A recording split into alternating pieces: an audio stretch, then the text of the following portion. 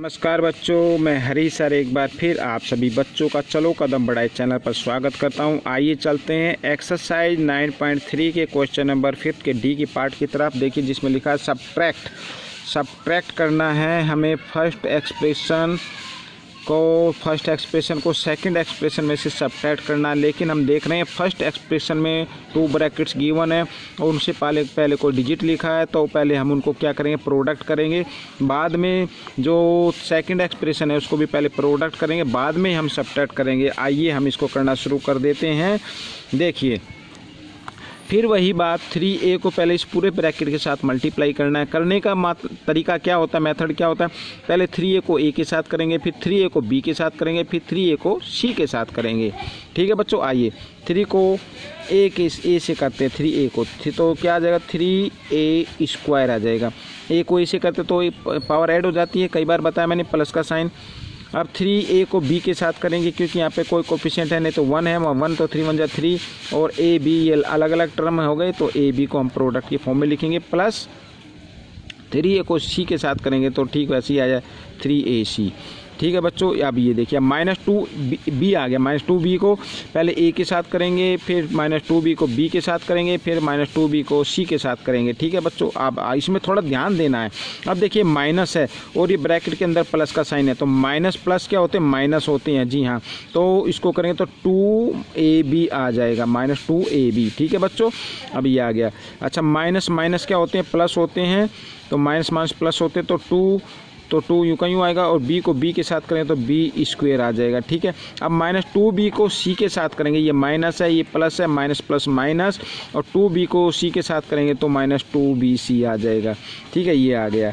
अच्छा फ्रॉम मैं यहाँ पर लिख लेता हूँ फ्रॉम हमें इसको माइनस करना है किसमें से? इसमें से। आइए, इसको भी प्रोडक्ट पहले पहले फोर सी को ए के साथ करेंगे, फिर फोर सी को बी के साथ करेंगे, फिर फोर सी को सी के साथ करेंगे। आइए, कर लेते हैं। फोर इसको सी फोर सी को ए के साथ करें तो माइनस माइनस आएगा क्योंकि माइनस है, ये प्लस है माइनस प्लस माइनस होते हैं minus four A C four A C आ जाएगा, ये ऐसे प्लस का साइन फोर को फोर सी को बी के साथ करें तो M C minus four B C ठीक है, क्योंकि फोर और इधर बी और सी इस प्रकार लिख सकते हैं हम तो फोर को सी के साथ फोर सी को सी के साथ करेंगे तो फोर और सी को सी से किया तो सी स्क्वायर आ गया क्योंकि पावर क्या हो, जा, हो जाती है? ऐड हो जाती है। इनमें क्या थे? अलग अलग टर्म थे इसलिए हमने इसको मल्टीप्लाई की फॉर्म में लिखा है। आइए हम इसको करते हैं। आगे देखिए सबसे पहले ऊपर वाले में हमने क्या ए स्क्वेयर है क्या? कहीं पे नहीं है। ए बी हाँ जी ए बी तो है।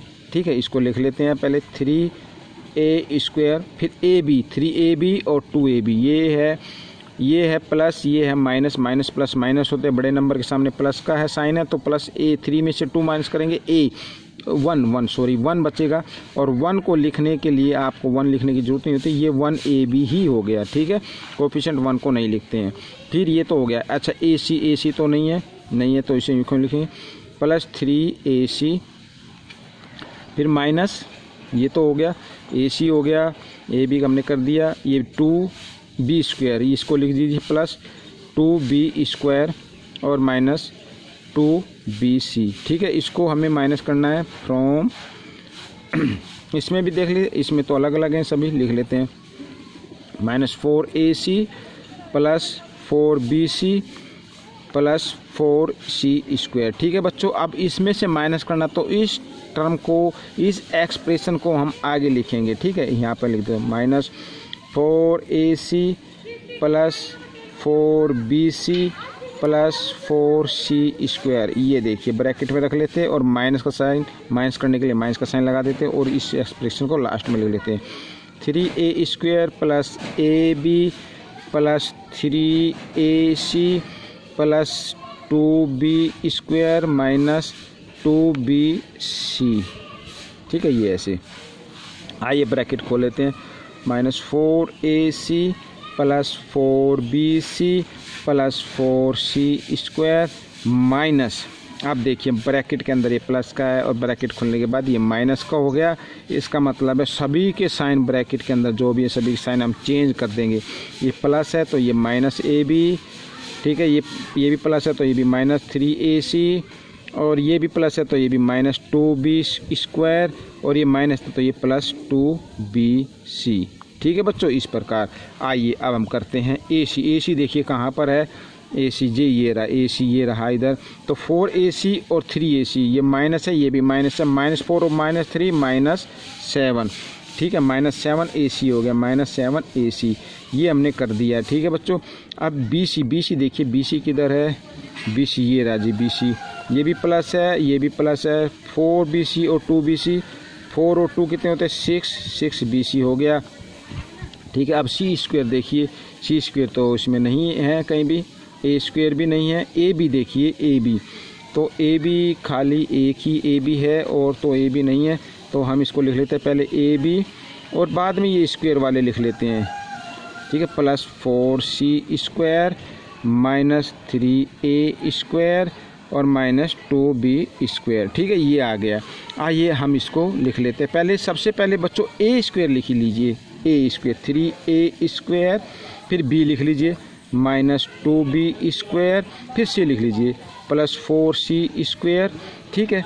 अब ये लिख लीजिए, ये लिख लीजिए, minus seven A C plus six B C minus A B.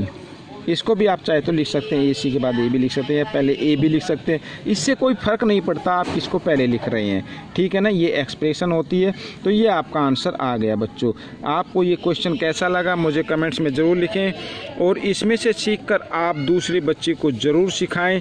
चलो कदम बढ़ाएँ, देश को शिक्षित बनाएँ। मिलते हैं अगले पार्ट में। तब तक के लिए धन्यवाद।